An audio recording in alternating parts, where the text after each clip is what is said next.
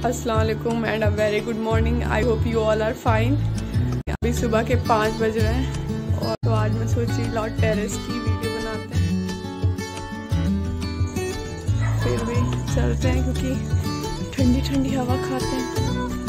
हवा खाई नहीं जाती, महसूस की जाती सॉरी तो ये है ऊपर। इस वक्त सुबह सुबह सिर्फ़ चिड़ियों की आवाज़ आएगी, और डॉग्स की भी आएँगी। तो आपको सुनाई दे रही होगी। तो ये कुछ इस तरीके से मैं यहाँ कुछ देर बैठूँगी, फिर कबूतर वाले पे भी चलेंगे। तब तक दिखाते हैं। कुछ इस तरीके से मैं सोच रही हूँ मैं अपने हर एक पौधे से मुखातिब कराऊँ। तो थोड़ा सुबह हो जाती है, तब बनाते हैं। इधर का भी लुक बहुत अच्छा है। वैसे सुबह की तो बात ही अलग है, वो अलग बात है, हम लोग उठते नहीं हैं। और एक और ये रहा आम का पेड़। अभी दिख नहीं होगा, अभी दिखेगा थोड़ी देर में। ये छोटे छोटे अभी बड़े नहीं हुए और एक और चीज़ दिखाते हैं। ये घर पे जो ढेर सारे लगे हुए हैं, इनकी मज़े होंगे जब मन कहे तोड़ के खा लिए। और इधर से मैं बस देख सकती हूँ, तोड़ नहीं सकती। मैं थोड़ी सुबह होने के इसलिए बात करी अरे, मैं इसी का वेट कर रही थी। Kingfisher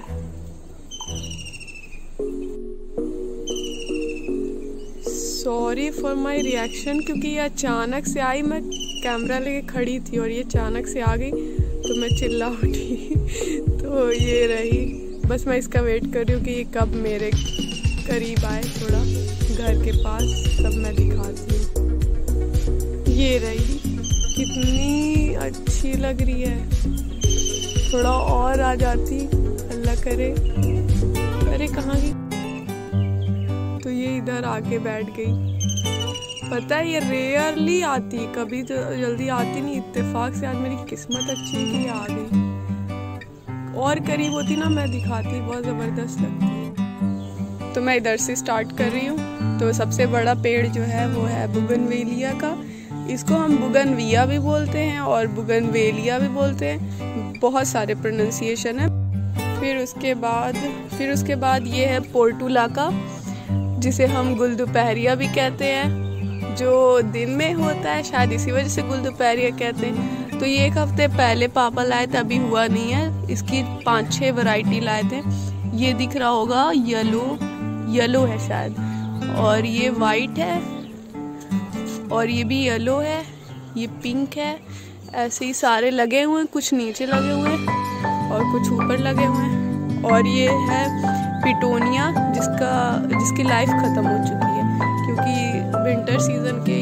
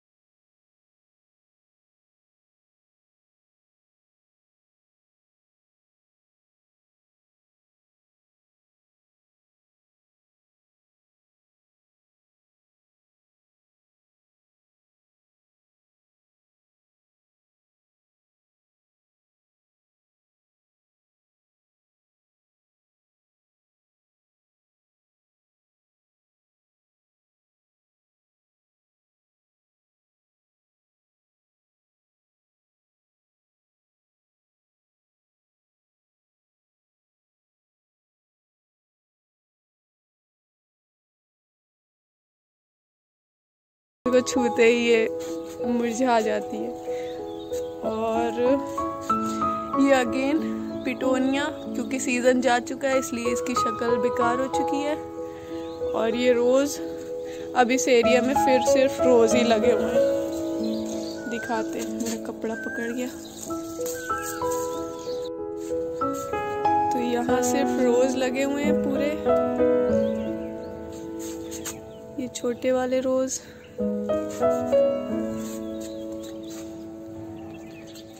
यहाँ सारे रोज़ ही लगे हुए हैं। और ये लास्ट में फिर से नींबू का पेड़।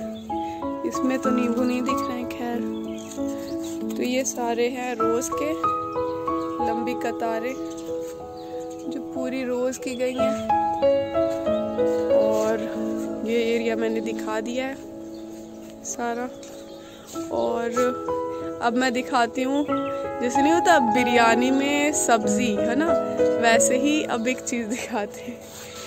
ये वाले। और इसमें भी लगी है गुल दोपहरिया सारी। मतलब जितनी भी थी आधी वहाँ पे लगी हुई है, आधी यहाँ लगी हुई है। और इसमें जो है, पेड़ ज़्यादा नहीं रहते लॉन्ग टर्म के लिए। ये बस शो पीस के लिए होते हैं। क्योंकि देखिए कलर ही इतना खूबसूरत है। इसीलिए मैं कह रही थी इसको कि बिरयानी में सब्ज़ी वाला काम। और ये जो छोटे छोटे गमले हैं, इसी में आते हैं वो नर्सरी से जब खरीदते हैं तो इसी में पेड़ आते हैं, फिर इसमें लगाया जाता है। तो ये रहे सारे। पर ये अच्छे लगते हैं। शो पीस के लिए बहुत से